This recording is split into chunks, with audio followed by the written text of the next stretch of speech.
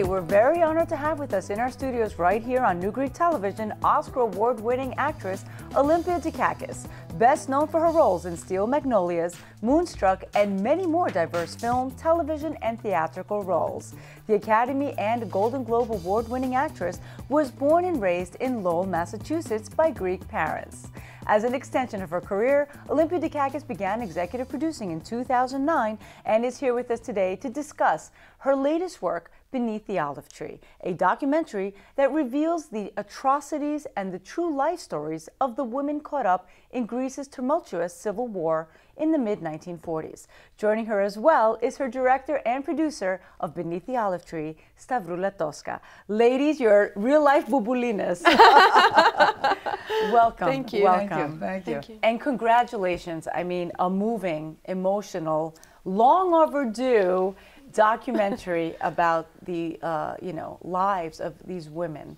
Um, congratulations, and I don't, I don't know where to begin, um, but let's begin with how the story came about into your hands and how you made it a reality.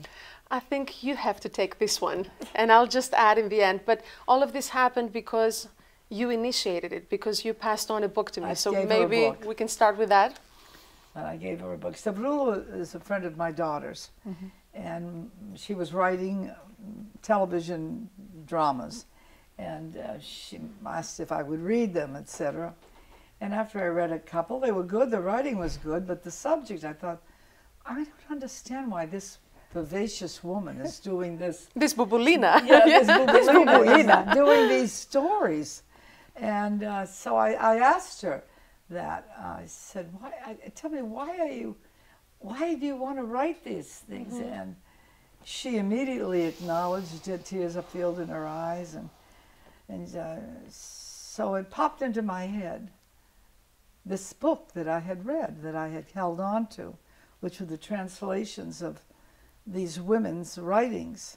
What's the book called? The, The book The was journals, I The Greek, journals. No, the book was Greek Women in Resistance Greek by Women in Eleni Resistance. Fourtouni, good, which was a translation of, uh, I believe, three of the original journals that the women had written. And then Eleni Fourtouni had gone around Greece for some time um, doing her own interviews, which she included in the book. But that was what you gave me that That's night. That's what I gave her. And Yeah. two weeks later, she was, uh, as I'm fond of saying, on fire. She was like impassioned. She. Yeah. Had a purpose in life. She was. And dedicated five years. You both dedicated five years to this project. Well, and here- she has. yeah. I mean, I have to say, I, You ignited it. The mentor, the master. Absolutely, absolutely. And, uh, the friend, I think, a little more is accurate. Yeah. And so, and then she took off. And Well, let's talk about this. I mean, it's the secret journals of women that were unfortunately uh, contained, or rather put into camps, uh, wrongfully imprisoned, wrongfully and imprisoned, unjust, uh, uh, and tortured and, and abused because of a belief, um, which, you know, was a shock to me and many people when we saw this documentary because we didn't know that this happened. Yeah. I mean, atrocities happened. At, you know, we're talking about. Let's set the stage a little bit for our viewers. Uh, we're talking about uh, the post-Civil War. Uh, Civil War in Greece happened between 1946 and 1949. These are the yeah, these are the official Civil War Greek Civil War dates in the books. Uh, but there's a lot of historians who will argue, and anthropologists as well, that the Civil War had already began before the end of World War II in Greece. Yes, and unfortunately, these women were caught up in the middle. Uh, even if they were associated, they had a friend or a relative that was involved with the resistance that was part of the Communist Party. They were considered enemies of the state at the time, uh, and uh, these horrible things happened to them. Tell us a little bit more about the research that was involved. Uh, what steps you took to pull this story together? These women, how easy was it for them to tell their story? Um, it wasn't. Um, I'll take this one by one. Um, so uh, Olympia gives me the book. I start reading about these women, and I am in disbelief because I went to school in Greece and I was, you know, a pretty good student, and I knew my history and the facts, or I thought so at least. So I go back to her a couple of weeks later, and I'm um, I'm on fire, but I'm also angry and furious um, um, because I realize how. Ignorant I've been my whole adult life up to that point. Um, the fact that we're not taught what actually happened in schools. And I can understand to a certain degree the reasons behind that. Uh, but I also, there was a part of me that felt ashamed for not having thought about this earlier and investigated myself. So that was the first. Um, um, the first feelings, the first, you know, um, in the beginning. Um, and then I went on to do a lot of um, search on the internet, a lot of um, research online, and I came to find out that there had been a lot of um, historians, anthropologists, even psychologists or psychiatrists who have written books, non Greeks, and they have written books about what happened in Greece during World War II and the Civil War, and that how these events affected generations to come up until this point. Thank God for the witnesses. Uh, yeah, and I was incredibly surprised that it was um, um, uh, professors from Germany and Italy and the U.S. were writing about this, and I was like, well, where are the Greek people writing about this part of history? So I came across a book called Dangerous Citizens by Neni Panourgiá uh, which talks about the persecution of the left uh, and what these women and men went through at the time. And uh, that set me off on a whole journey of uh, going to the Tsakopoulos Hellenic Collection in Sacramento to do more research, uh, picking up the phone and just asking questions to people who are much older than me back home, including my mother, including my own family members, and trying to find out what is it that they're not telling us. Um, so why wasn't it in the history books? Yes, that, that's the yes, bigger question. Absolutely, because growing up in Greece and going to high school, um, all I knew is that um, the World War II ended. Uh, and with Churchill's and the US's help, you know, they put the communists away. So then the Civil War came to an end because we put the bad people away. And we went on to live happily ever after, which is so far from the truth. And through this research, you uncovered that perhaps your parents had lived through something similar and you uncovered that they did and it yeah. was closer to home than you even would have imagined i i when that happened and i remember the first time i didn't want to tell you this over the phone so i remember setting up a meeting with olympia and telling her do you have any idea what I'm discovering about my family? Um, my mom was the first person that I started um, asking questions because doing the math, I she was an eight or nine year old girl at the time of the Civil War. So thinking of myself as an eight year old girl, I'm like, I remember pretty much everything that happened in my life from that point on. So her resistance to talk to me and always rushing to get off the phone when I would ask these questions got me even more suspicious and even more persistent to keep asking. Um, long story short, after a few months of back and forth, I came to discover that pretty much every member of my mother's family had been involved in the Civil War. Um, and I don't want to say too much about the film, I don't want to give it away, but that's part of my journey going back to Greece to meet these women and try to convince them to tell me their stories while all the while trying to convince my own mother to reveal to me what was happening, what had happened yeah. within our family. And there were things. Yeah. There were things. There they were, things. and they were yeah. uncovered. And yeah. It was amazing to me. I couldn't. I mean, how did it happen? I just handed her a book, and her whole family history opened up. Yeah. After reading this book, how, how did you? feel about this story? Because you're a Greek from Lowell, Massachusetts. You're mm. born and raised as a Greek American. Did you believe that these things were possible in your homeland, your parents' homeland? Oh, of course. I, uh, I've reached a point where I can believe, unfortunately, some of the worst things about us as human beings. But um, I wanted years ago to do this myself, and I prevailed upon her to let me do it. And there was somebody, some other company some group from Europe, I think, who wanted it, and I talked her out of it, and then I didn't do anything. And it always weighed on my mind that I didn't do anything. And so when this came up, you know, I felt really, uh, I felt really that uh, I, it was a, it was a promise I had made a long time ago. So I was glad that. Uh, it's a story that had to be told. Yeah. I'm none of my family. My mother comes from Mani. My father actually came from Anatolia, his father from Crete, his mother from How did they end up in Lowell, Massachusetts? How they end up in Lowell, Massachusetts? It was the mills. The mills brought all the immigrants in, and uh, they went there and they worked. in unbelievable, horrible conditions, et cetera, et cetera. Another story that might need to be told. the I story of the actually did. You know what? I have those books. They were written about how women actually started the union movement Hmm. in the United States.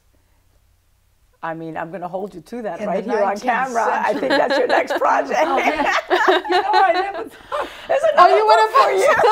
The union movement. I mean, it was the women who were out there. Let's write that down. Everybody. bit like Sally Fields. Not air the show You yet. that? That's right. Yeah, Sally Fields was the one that was Well, I think you Yeah. need to gather up all your friends from Hollywood and Yeah, try to make friends this from happen. Sally Field, yourself. I mean, you have had such an extensive career. I mean, you were so fortunate. Uh, tell That's us, right, Tell fortunate. us, you were fortunate, but you had the talent. How did your parents feel when you wanted to become an actress? Uh, you know, my father was very unusual for a Greek father of those days. He said uh, to me, everyone must choose their own happiness. That's wonderful. Never, you know, whatever, whatever I felt was the direction I wanted to go. Yeah. He, he didn't support it. he didn't. I knew he didn't want me to, but he also knew that it was my. We had this discussion once about um, uh, what was his name? The one- the one who went to uh, Crete. Uh, Theseus, I think his name was. Okay. And he went there and he came back and uh, he ended up um, marrying Phaedra and, and Oh. all of that. You know that, that when he wanted to go as part of the, the Greeks owed the Cretans so many young men because they, they, they had lost a war or something, and they had to pay them off every, I don't know how many years, with young men to go down there. And uh, he said. Uh, his father said, You don't have to go. I'm the king, and blah, blah, blah. And he said to his father, You cannot deny me my destiny. I'll never forget that because my, I thought that's all I could. I never got any children's books. My father just would hand me all these Greek things. Well, that's And- amazing. so, so this thing about you cannot deny me my destiny. And uh, I remember when the first theater I was part of starting in Boston, my father came and he saw us while we were building up this and that and putting the seats in and doing everything. And he stood there and the tears filled up in his eyes. He said, I worked hard so you wouldn't have to do this. And I mm. turned to him and I said, You cannot deny me my destiny. And he just, he just nodded his head. He was like, That's wonderful. he was pretty terrific that way, my father. And I'm sure proud after this lengthy, wonderful, amazing career. Yeah, well, I, I wish that he had lived to see me get the, uh, the award, but my mother did. And And now executive producing. What do you like best? What was the hardest part of doing this uh, documentary? Well, she'll have to answer that. Uh, Um, I would have to say fundraising. I was going to say that yeah, too, but yeah. And you, she just moved earth and anything well, that I she could do and rocks. available And, for because yeah, yeah, yeah. Um, not only f- um, um, uh, fundraising in terms of you know getting support from people financially, but also um, speaking to a lot of people at the time, especially in the Greek American community, and me being a first-time filmmaker. Um, and also naive enough to think that, of course, why would they want, why would they not want to support a project like this? And hearing, you know, a lot of doors closing and people constantly saying, "Oh, why do you bother with this? Nobody wants to know about this." And well, if you're going to tell and they were communists.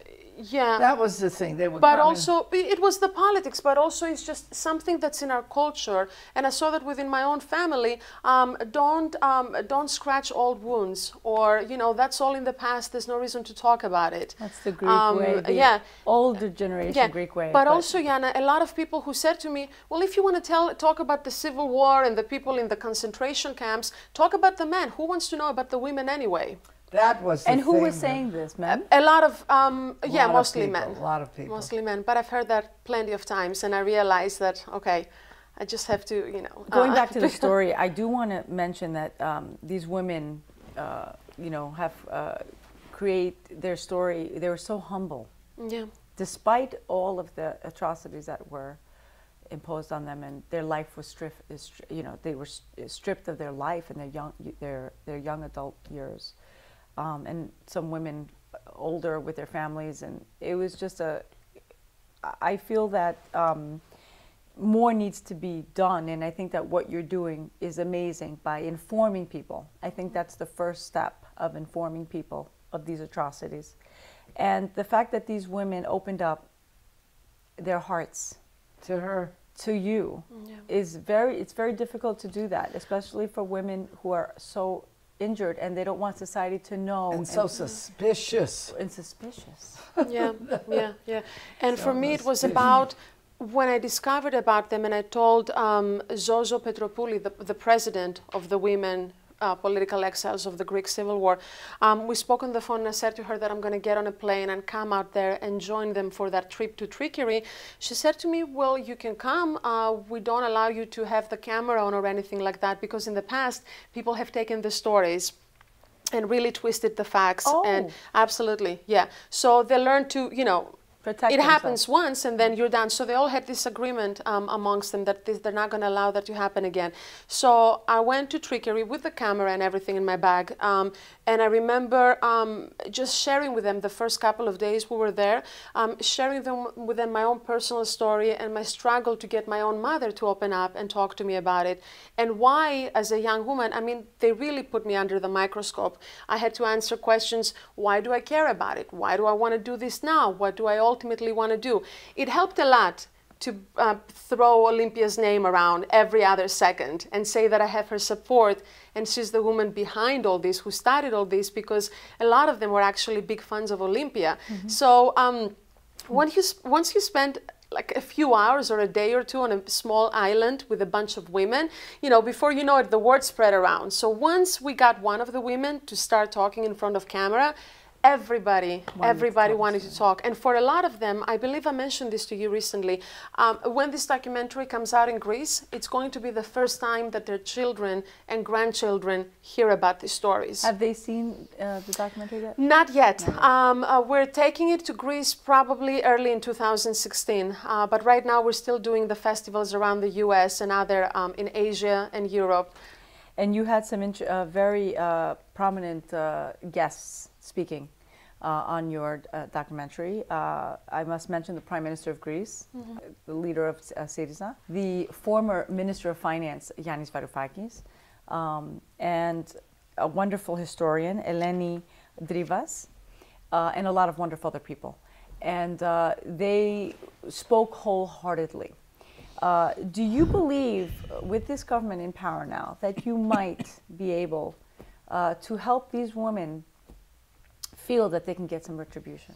I hope so. It's one of our goals. It's one of the things that we want to do with this film. Um, it was never the uh, the intention to obviously put it out there and share their stories with the world. And it's been incredible to see how people who are non-Greeks respond to these women and repo- respond to this story and how moved they are. Um, truly moved by this. How but it was always they think it is that Bravo. the story be told. Absolutely, absolutely. Um, but also in the back of our heads, it was always been, and Eleni Drivas is one of those people who were, is also a big advocate um, for that cause to actually get these women some sort of recognition before it's too late. Because one of the things I want our viewers to understand, um, Yanna, is the fact that the women who are still alive and were able to speak with us, they were teenagers back then. Everyone else from this generation has already passed away. Um, so this is really, I think, the last chance. And I hope one of the things that this, this film also does is for younger people to start asking questions. Because there hasn't been not one family that wasn't affected by the Civil War, one way or another. And it's so important for the younger generations to know more about this part of our history and in order to understand the present much better. Olympia, do you feel that um, this has brought you closer to Hellenism at all? Oh, I've always felt very close to my Hellenic roots. I don't necessarily haven't spent that much time in the Greek American communities, but in terms of, I, I had the master of that, my father. He made sure that all the books I got and um, would engage uh, me and my brother in conversation. And um, so one of the things I do is um, I go around teaching um, workshops, acting workshops in the Greek classics, because I think American actors are eminently prepared to do them. It's just they don't know how to get into the play and what aspect of their process is really relevant and important.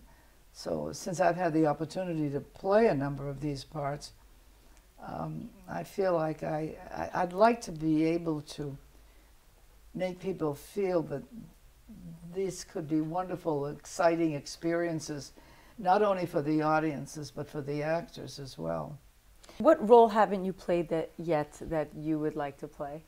What role haven't I played? that I... Is there a role that you say, oh, I really want to? I missed that one. Well, I'm too old for some of them, so I, I recognize that. And uh, know, I can't say that I feel dissatisfied. I've done all of Chekhov several times. I've done the Greeks. I've done a lot of Williams and Miller. And, uh, Do you think acting is the same as it was? Has acting methods of acting changed? Have the actors changed? It's the business has the business keeps changing, and now the director is uh, very dominant, and the actor, rather than being a collaborator, is there to use their skills to fulfill the director's vision. I think is the uh, terminology that they use more and more. What message would you give to our viewers uh, today? Uh, A message? A message. I'm- A, a. I would like. I believe our viewers watching you are uh, all fans. Everyone's your fan. I mean, the Greek community adores you. You represent Hellenism on the big screen. Every time your face gets on that screen, what would you like to tell them? I guess this reminds me of the very first time after the Academy Award, I went and spoke to a group of parents, I think, at a Greek church, and they asked me a similar question. And I said to them to not be afraid to let their children go into the arts, mm. because the Greeks are very quick to encourage their kids to become doctors and lawyers and restaurant owners. How many restaurants are called Olympia, for heaven's sake? All after you. And so um, I think that that that that there's a wonderful, there have been wonderful Greeks that we were just talking about. Dean Tavoularis, who did all of the Godfather films. yes, he did all of those. I mean, there are Greeks out there. there are many talented. Yeah, a, a lot of them changed their names, but you know what's happening now? I, They're going back to their name. people are not changing their names.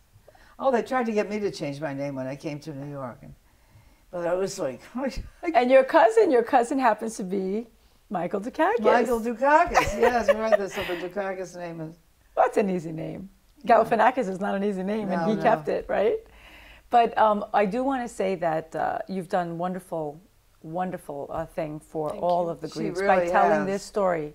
And Stavroula, we must also mention about Stavroula. This is her first project, correct? It is. I, I call And myself the accidental filmmaker. Impre- that was going to school for me. Very Yeah. impressive. Thank That- you. I mean, it's it's fantastic. And she has other projects going and uh, in- in Two wonderful partnership Greek strong women. and other things that she's developing that are wonderful. And Mm-hmm. you're going to be seeing and hearing more from this young woman over We, here. we surely hope so. Thank you. So tell our viewers, Stavroula, where can they uh, be able to see this uh, documentary? Um, it's going to be online um, in 2016. Um, um, I expect it, if everything goes according to plan, around April or May of 2016.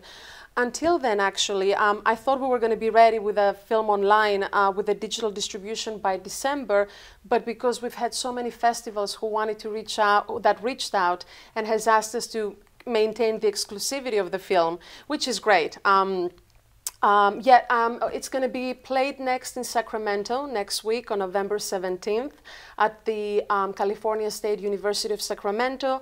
After that, we're taking it to um, the Foyle Film Festival in the UK, where the film is a finalist uh, for the best documentary. After that, we have the Santa Fe Film Festival in New Mexico, um, and then India. Um, the Jaipur. great? That's and amazing. Ireland. Ireland, is called The Foyle, it, The? Yeah, Isle- yeah. Ireland's calling. Ireland is calling, and even in India as well, the Jaipur International Film Festival, we, we are a finalist for Best Documentary. The so story is- needs to be told. Yeah. Uh, And we need to take this to Greece also as soon as possible. That's- It's a priority it's a priority. I think It's it should priority. premiere there. for, But for these women more Yes. than anything. uh, beneath the olive tree, wonderful uh, stories, the journals of many women who endured uh, pain and 10 years of their lives uh, in these uh, concentration camps. because that's what they really were. Mm-hmm. and then again, when the fascists came in, Yes. they arre- rearrested them. They, uh, they- right they- during they the military dictatorship. Yeah. Yeah. oh, you call it military dictatorship. We hope that history We will at the time called it the fascists. The fascists. yeah. We hope that you know history will be revealed to people, and history will be rewritten the way it happened at some point. Um, we hope that these women will be recognized for all they endured, and uh, we hope that and they found so much happiness in their lives, which is it's empowering. Uh, It- for women who it have endured similar things, these women, their heart and their soul and their bravery is an example to us all. And they managed what we were talking about on our way here, Olympia and I. Um, they managed not to lose um, their kindness and their spirit and their love for life to create and to go on living and to go on living being proud for what they had done and saying that I would do it all over again. Um, that's quite remarkable to me. Like to this day, when I watch the film, it always sure it always moves me. It's, a, it's coming out at a good time. And Stavroula, as a Greek, uh, what are your thoughts on the social unrest going on in Greece right now? Um, that it's tragic and just so extremely unfortunate. And I think that um, watching what's been happening since um, uh, Prime Minister Tsipras took over um, office in the last few months, um, I think that no one was really, none of us was fooling ourselves thinking that overnight or over a period of a couple of months things are going to change.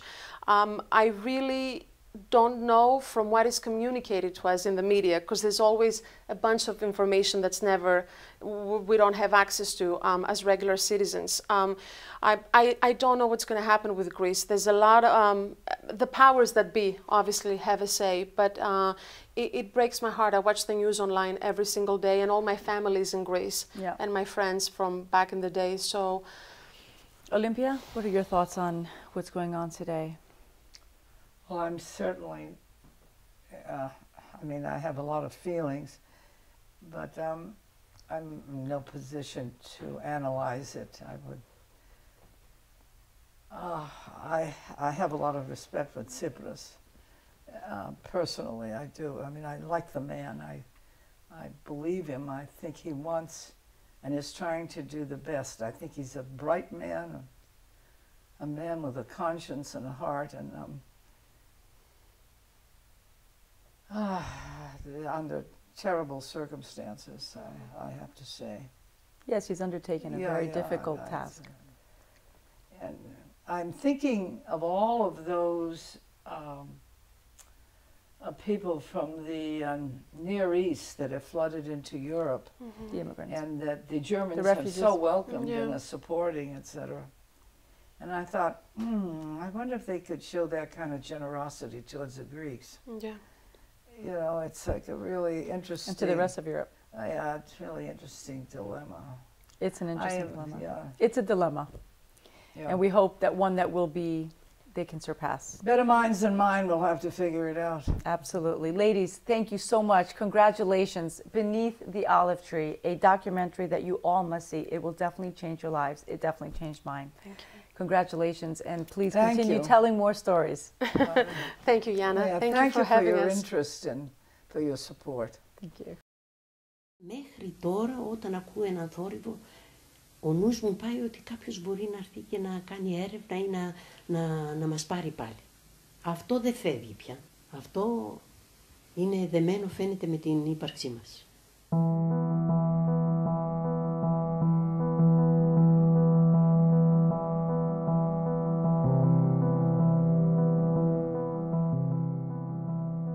Πώς τα κρατήσατε, πώς τα κρύψατε Τα από τους κρύβαμε φόνους; σε, ε, ε, σε τενεκέδες μέσα στο χώμα κάτω από την... Κρυβόμασταν. Είχαμε τσίλιες. Εμείς ανεβαίναμε πάνω στο αυτό, στο μοναστήριο που ήταν τα κελιά και εκεί μέσα αυτή που είχε το κελί μας το παραχωρούσε, έφευγε και καθόμασταν εμείς με τη Ρόζα και με την Λίζα την κότου και, γρα... και γράφαμε. It's been over two months now that I've been asking my mom to tell me about her experiences during the Civil War. She was nine at the time, and I know she remembers things, but she refuses to talk to me. Λίγο θα φύγουμε κι εμείς, δεν θα υπάρχει κανένας για να μαρτυρεί την περίοδο αυτή. Η ιστο- την ιστορία θα την γράψουμε όπως αυτοί θέλουν. In 1947, the British declared that they could not hold on to Greece any longer. That's when President Truman announced his famous doctrine by which the United States had to help Greece in their fight against communism. Αυτό που θέλουν οι Ηνωμένες Πολιτείες να πούν στον κόσμο είναι ότι εμείς είμαστε οι νικητές του φασισμού και εμείς είμαστε αυτοί που φέρνουμε τη δημοκρατία.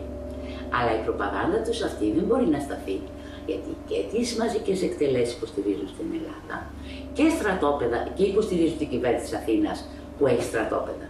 Αυτοί οι άνθρωποι έχετε την εντύπωση ότι θα αφήσουν ποτέ να περάσει η ιστορία στα βιβλία; Καθόταν πάνω στα πόδια μου έτσι όπως είμαι. Ο δεύτερος καθόταν στο κεφάλι μου και οι άλλοι δυο αλλάζανε χέρια με, ένα, με το βούρδουλα, με το γκλούψ. Αν έναν από αυτούς έβλεπα να βασανίζουν και ήταν στο χέρι μου να το εμποδίσω αυτό, θα το έκανα έστω και σε αυτούς τους ανθρώπους.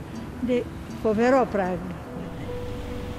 Να μην δείχνω μάλλον τις συνέπειες του πόνου, της, ε, όλων αυτών που Νόμιζα ότι το κατάφερνα, ότι ε, νόμιζα, δεν ξέρω, αυτό δεν το ξέρω πόσο, πόσο κρυβόμουν. If you want to know where the foundations of the current moment in history are, it's in the streets of Athens in 1944. Αφού καμιά φορά λέμε βρε παιδιά, θα κλείσουμε τα μάτια μας και δεν θα πούμε τίποτα. και πάλι το διασκεδάζουμε. cuánto tienes quedas? A ver.